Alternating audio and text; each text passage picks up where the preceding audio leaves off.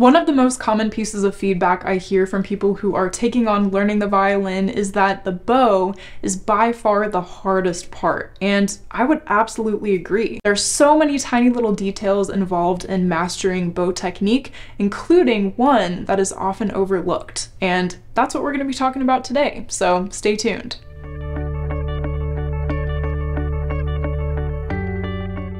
Hi, I'm Lauren, a professional violinist and fiddle player living in Nashville, Tennessee, and I help thousands of people achieve their violin and fiddle goals. If that sounds like something you'd be interested in, consider subscribing to this YouTube channel.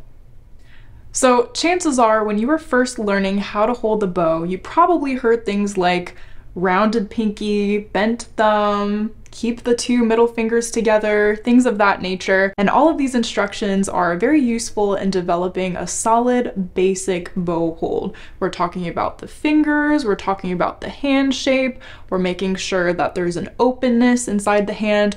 All of these things are really, really good. But one thing that is often not discussed, at least until much later in violin studies, is the relationship between the arm and the bow hand. So oftentimes we focus on just what's happening with the hand and the fingers and then we play and then we're not happy with the way that it sounds, but we don't really know how to fix it. So what I'm here to share with you today is that if you can start to pay attention to the relationship between your bow arm and bow hand, you can really determine the outcome of your playing, whether you have a nice strong tone or whether you have a weak and scratchy tone when you play.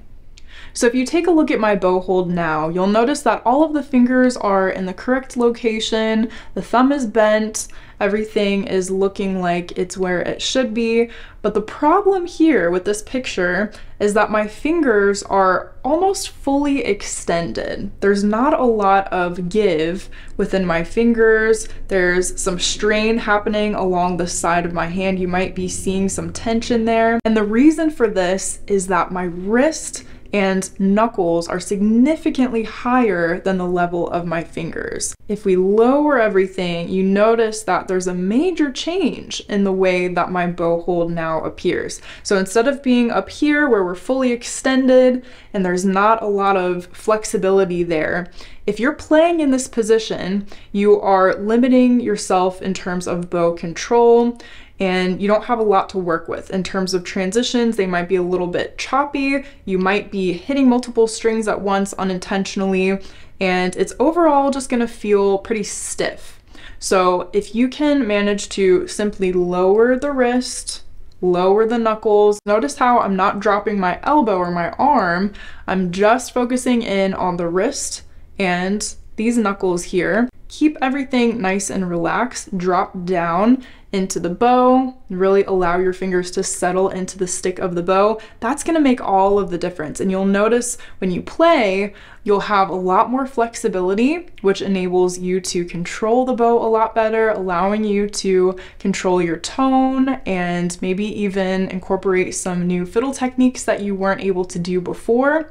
And it really just makes life so much easier as a violinist and a fiddle player.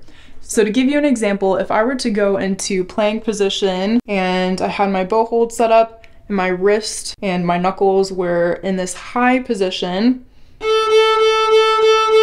Again, there's not a lot of movement happening. I don't really have flexibility. I feel very strained and I feel very stiff and I feel like there's not a lot of movement that's able to occur. Whereas if I'm able to while my bow is on the string and I have it resting on the A string, if I'm able to drop my wrist and drop my knuckles and just simply lower everything and really settle into the bow, now I can really feel the connection of my fingers to the bow and of the bow to the string.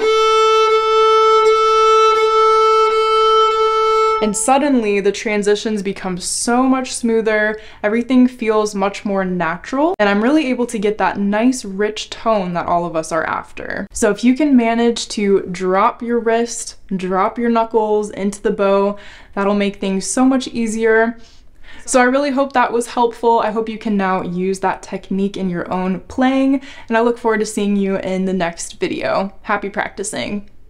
If you've made it this far, you must have enjoyed the video, so why not check out this one next? Also, if you'd like exclusive content from the Tune Project and a more personalized experience, head over to Patreon and join our wonderful little fiddle community. Your support helps me to continue to grow as a creator and ensures that I'm able to continue to provide free educational content here on YouTube. Thank you!